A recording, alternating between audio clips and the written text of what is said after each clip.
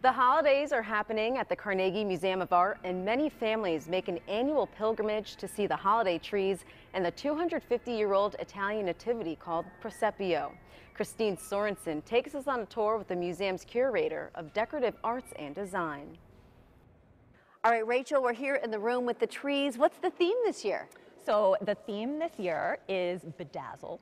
So we have all these wonderful interpretations of the theme from the beautiful constellations of the winter sky to this tree, um, Will You Marry Me? If anybody's looking for a great place to propose this year, um, this might be a good spot, although bring your own ring, although there is one on top as the tree topper. And then here we have diamonds in the wild, these wonderful little uh, wild animals hiding in the snowy boughs, chandeliers, beautiful glass snowflakes.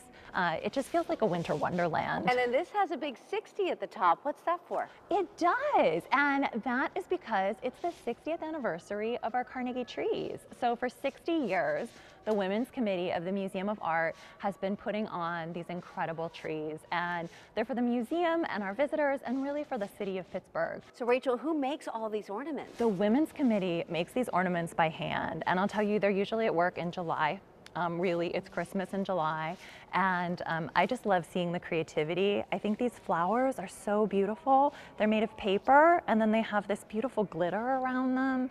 Um, those really took my breath away. Okay, so I see the Presepio's not here. Let's go find it. All right. All right, so Rachel, we're in a different part of the museum. Explain where we are and what we have here. Yes, absolutely, Kristine. So we are in the Scaife Galleries, which is the museum's home for our paintings and sculpture, much of the art collection. And we are looking at the Neapolitan Presepio. For people who've never seen it before, what is it? Yeah, so the Neapolitan Presepio is our 18th century Neapolitan nativity scene. So that word, presepio, actually comes from a Latin word, presepium, um, which means manger. But this is really an elaborate multimedia art form that the residents of Naples and Sicily more than 250 years ago developed to celebrate um, this biblical story that was so central to their experience as a predominantly Catholic culture. So on the left-hand side, we see the Holy Family, and they're under a Roman ruin.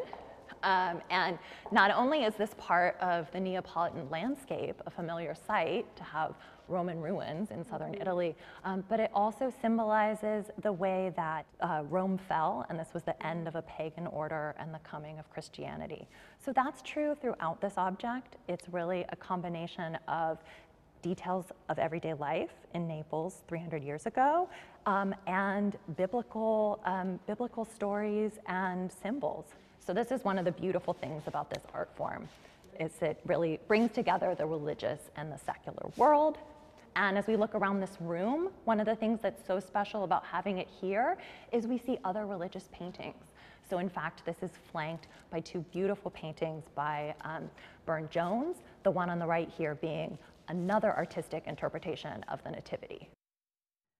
Such a beautiful exhibit. And every Saturday afternoon through December 18th, the museum has live concerts among the trees. And if you want to learn more about the Presepio, there are art chats Thursday evenings and twice on Saturdays. All are included with admission, and we have a link with the details at kdka.com.